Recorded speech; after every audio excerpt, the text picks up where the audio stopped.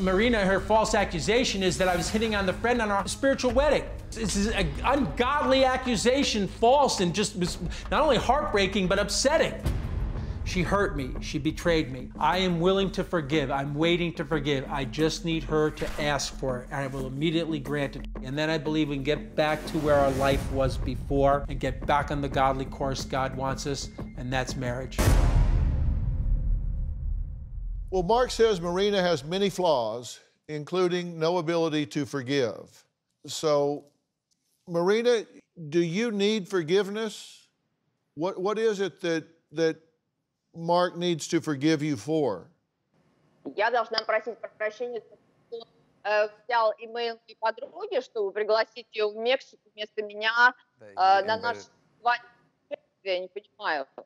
Yeah, she doesn't understand what she's asking for forgiveness for if he invited her friend to Mexico and and emailed her friend Yeah. instead of her. Yeah, that's that's.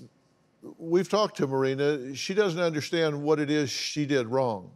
Okay. Um, first of all, uh, you know, I believe the women, all women, and I, am going to put this better in context, are crippled by the three F's: fear, unforgiveness, or the, you know, the word forgiveness, or falsehood. Marina was afraid of the pandemic, so she didn't want to come to Mexico.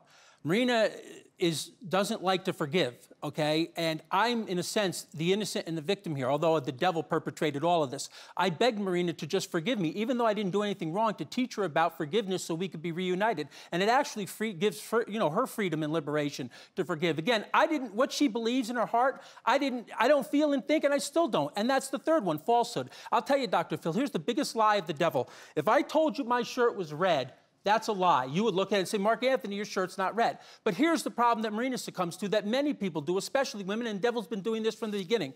If I told you my shirt was lilac, and you looked me in the face or on the phone or on video and said, No, it's not, repeatedly, that's a lie. That's a devil lying to you. I am telling you the truth. It's lilac.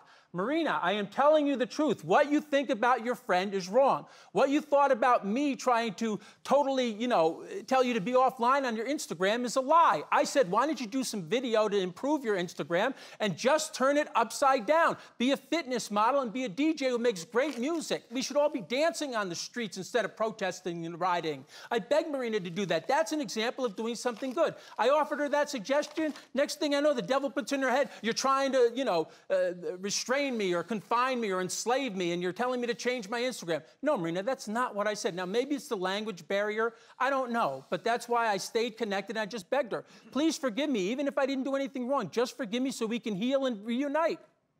Didn't you say that since you were spiritually divorced, that maybe God was using Marina to lead you to who He really wanted you to meet, which was her beautiful friend? Do you have a story or a question for me? Click the link in the description and tell me what in the world is going on.